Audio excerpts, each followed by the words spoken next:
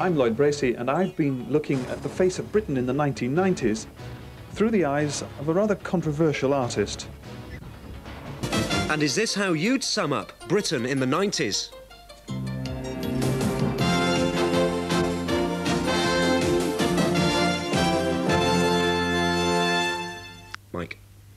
An artist who stuck John Major's face onto the Mona Lisa says his work has been misunderstood.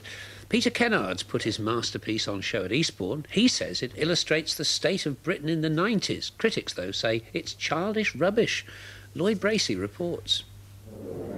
The Britain Peter Kennard portrays is a land of decay, dust and despair. Images of what he calls 13 sad years. But among his photo montage collection, one in particular has got people talking. I, I honestly, I, it doesn't make any sense. I can't see the point. It doesn't convey anything to you at all? Not a lot, no. Do you think it's good except art? The, except the Mona Lisa doesn't smile and he doesn't, I suppose. It's a bit of fun, really.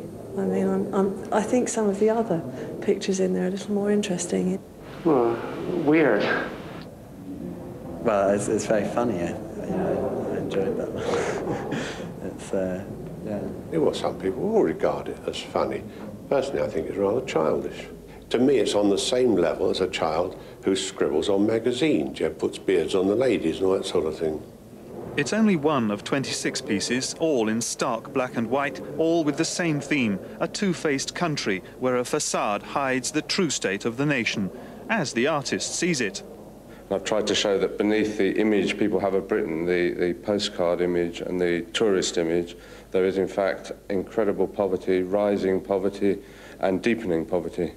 It has been described, particularly your Mr. Major, alias the Mona Lisa, Mm. as um, like childish scribblings on a magazine. How would you react to that? Well, I mean, I'd consider that incredibly childish comment coming from a conservative councillor as well. When you consider what the Conservatives are up to at the moment, I would have thought he had better things to make comments about. Like it or loathe it, at least they're talking about it. And as someone once said, the only thing worse than being talked about is not being talked about. Lloyd Bracey, Coast to Coast, Eastbourne.